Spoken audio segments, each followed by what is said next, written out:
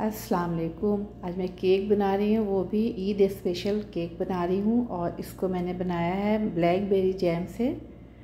बहुत ही यमी वाला ये केक हमारा रेडी हुआ है, कलर तो इसका बहुत ही प्यारा सा आया है। और खाने में बहुत टेस्टी है ये केक।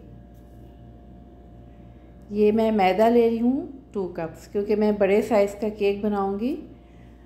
और दो कप मैदा लिया है, इसको मैं अच्छी तरीके से पहले छान लूँगी। और इसमें मैं डालूँगी तकरीबन two and half teaspoon baking powder two and half teaspoon baking powder two cups मैदा. और वन फोर्थ टी स्पून इसमें मैं सॉल्ट डाल रही हूँ. तो दो कप मैदा मैंने लिया. ढाई चमची मैंने बेकिंग पाउडर लिया है और one fourth teaspoon sorry मैंने नमक लिया है। ये इन तीनों चीज़ों को अच्छी तरीके से मिक्स करूँगी और साइड में मैंने रख लिया है और यहाँ पे मैंने लिया है फोर पीसेस अंडा और इसको मैं बीट कर लूँगी। दो से तीन मिनट्स इसको बीट करना है। और ये जब अंडा बहुत अच्छे से बीट बीट हो जाए, उसके बाद इसमें मैं डाल रही हूँ one and half teaspoon sugar अच्छा शुगर मैंने नॉर्मल वाला लिया है। और यहाँ पे जिस डिश में मैं बेक करूँगी केक उसमें मैंने वो बटर लगा के फ्रिज में रख दिया है। और यहाँ पे फिर दूसरे बाउल में मैंने लिया है one cup milk half cup butter और इसको मैंने माइक्रोवेव में डाल के मेल्ट कर लिया है मिल्क के साथ बटर को।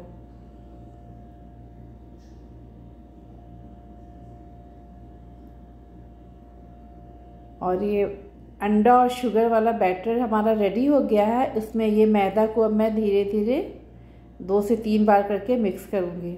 अच्छा बहुत केयरफुली वरना मैदा उड़ने लगता है। तो अंडा और मैं, शुगर का बैटर था और मैदा सॉल्ट और बेकिंग पाउडर को मैंने मिक्स करके रख लिया था। वो अब मैं इसमें दो से तीन बार करके ऐड कर रही हूँ। और साथ ही ब्लेंडर को चला भी रही हूँ।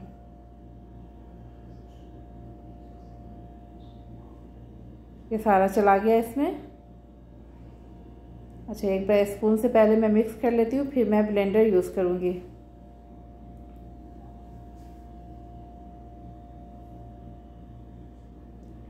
और ये मिल्क और बटर जो मैंने मेल्ट करके रखा था, इसमें मैं थ्री टी स्पून डाल रही हूँ वेनिला एसेंस ये तीन चमची वेनिला एसेंस चला गया milk butter and vanilla essence और इसमें थ्री टी टी स्पून ही ऑयल भी डाल रही हूँ।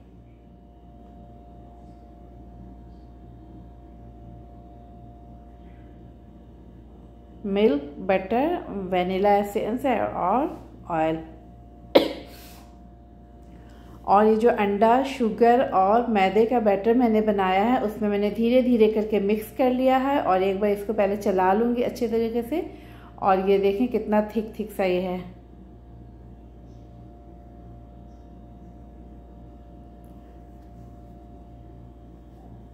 ये इस पैन को मैंने फ्रीज़र में रख दिया था, इसमें मैंने मैदा नहीं स्प्रिंकल किया है। अब वो केक हमारा बेक हो रहा है, उसको मैंने ओवन में डाल दिया है। अब मैं आ जाती हूँ ब्लैकबेरी जैम बनाने के लिए। तो ये थोड़ा सा जैम मैंने लिया है, तकरीबन ट्वेंटी फाइव ग्राम्स होगा। और ये इसमें मैंने डाला है हाफ़ कप शुगर। अच्छा बेरी को काटने की ज़रूरत नहीं है, मैंने डायरेक्ट उसको वॉश करके और उसको शुगर डाल के बिल्कुल लो फ्लेम पे रख देना है थोड़ी देर के लिए। पाँच से दस मिनट में ही शुगर मेल्ट हो जाता है और इसमें अब मैं डालूँगी, शुगर मेल्ट हो गया है, अब मैं इसमें डाल रही हूँ लेमन का जूस। वन लेमन का जूस डालना है इसमें तो बहुत अच्छा से इसका टेस्ट आ जाता है। वैसे भी इसको ब्रेड से खाएँ और रोटियों पराठों से बहुत मज़ा आता है खाने में ये बेरी का जैम। और अभी मैं बहुत थोड़ा सा बना रही हूँ सिर्फ़ केक के लिए। ये बेरी हमारा बिल्कुल गल गया है, अब इसको मैं ब्लेंड कर लूँगी।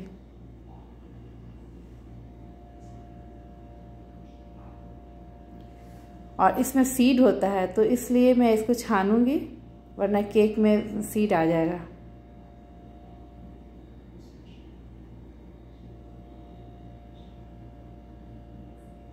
और जिस पैन में मैंने इसको पकाया था फ़र्स्ट टाइम उसी में फिर इसको मैंने वापस डाल दिया है और एक बॉयल आने तक और पकाऊँगी, कि जैम हमारा थोड़ा थिक थिक सा हो जाए। और इस जैम का कलर भी बहुत प्यारा होता है। बहुत ज़्यादा इसको नहीं पकाना है, वरना बहुत वो ड्राई हो जाएगा ये।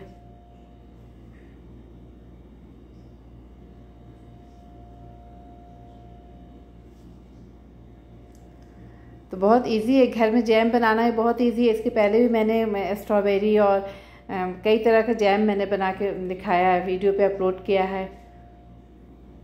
और ये केक भी हमारा बेक हो चुका है। अच्छा ये हल्का सा ऊपर से ब्राउन हो गया। इसको मैं नाइफ से मैं निकाल लूँगी और इसके मैं तीन पीसेस करूँगी। एक लेयर इसका निकल गया और जो बाकी जो बचा है उसके दो पीसेस और हो गए। ये केक बड़े साइज़ का बन रहा है और इसका लेयर भी तीन लेयर है ये। और ये जैम हमारा रखा हुआ दिख रहा है सामने और ये हाफ़ कप मिल्क लिया, इसमें तीन चार ड्रॉप्स मैंने वनीला एसेंस डाला है। और एक बार अब फिर मैं अब ले रही हूँ यहाँ पे बटर बटर मैं अभी यूज़ करूँगी 200 ग्राम्स और इसमें मैं टू कप्स आइसिंग शुगर डालूँगी। और ये मैं क्रीम बनाऊँगी इसका।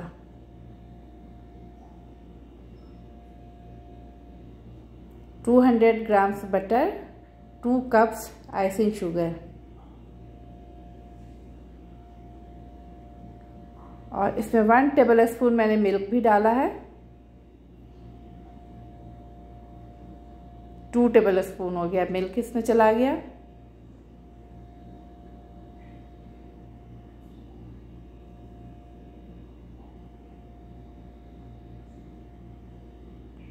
और इसमें टू से थ्री टी स्पून ही वैनिला एसेंस इसमें डालूँगी।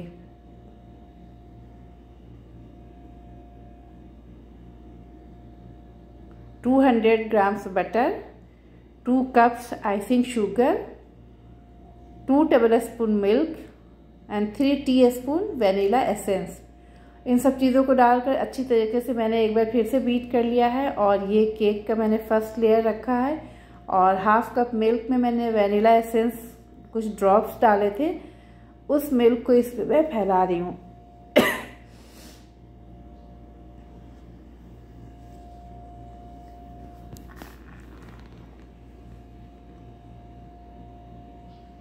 और उसके बाद अब ये जो मैंने आइसिंग शुगर वाला क्रीम बनाया था बटर और क्रीम आइसिंग शुगर डाल के उसको मैं इसके ऊपर फैलाऊँगी। और उसके ऊपर ये थोड़ा सा मैं जैम डालूँगी। बहुत मज़े का, बहुत यमी वाला ये केक हमारा रेडी होने वाला है।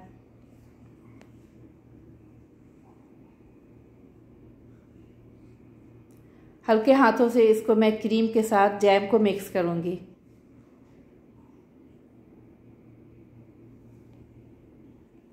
और इसके ऊपर मैंने सेकेंड लेयर रख दिया है। और इस पर भी पहले की तरह, इस पर भी मैं मिल्क पहले डालूँगी। मिल्क के बाद वो बटर वाला क्रीम डालूँगी बटर और आइसिंग शुगर वाला। और उसके ऊपर से फिर से मैं मैं बेरी का जैम लगाऊँगी इस पर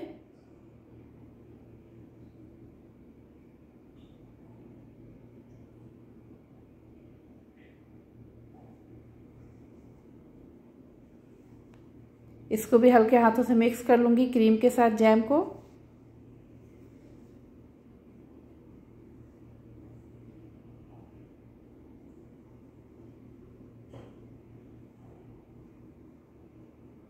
कितना प्यारा कलर इसका आया है।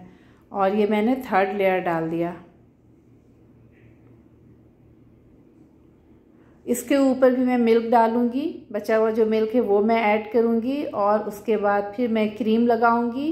क्रीम के बाद फिर से मैं इस पर जैम लगाऊँगी।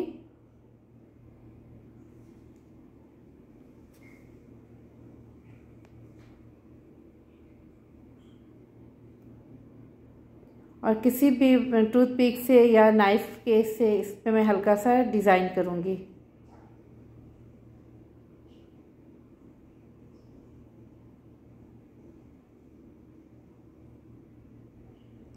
इस कलरफुल केक को देखकर बच्चे भी खाने के लिए तैयार हो जाएँगे।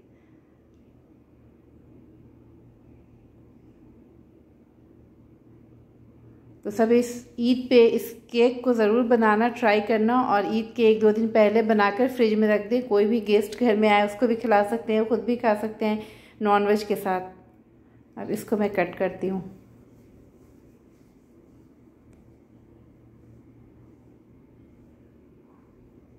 अच्छा इस पे मैंने वाइट चॉकलेट लगाया है और बेरी है। ये ऑप्शनल है। वाह, बहुत मज़े का, बहुत टेस्टी है। कलर तो इसका बहुत ही लाजवाब सा हुआ है, माशाल्लाह।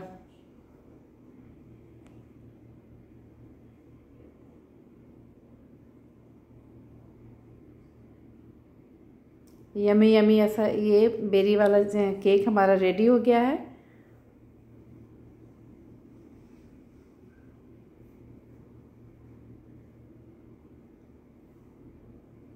सब इसको ज़रूर ट्राई करना ईद में।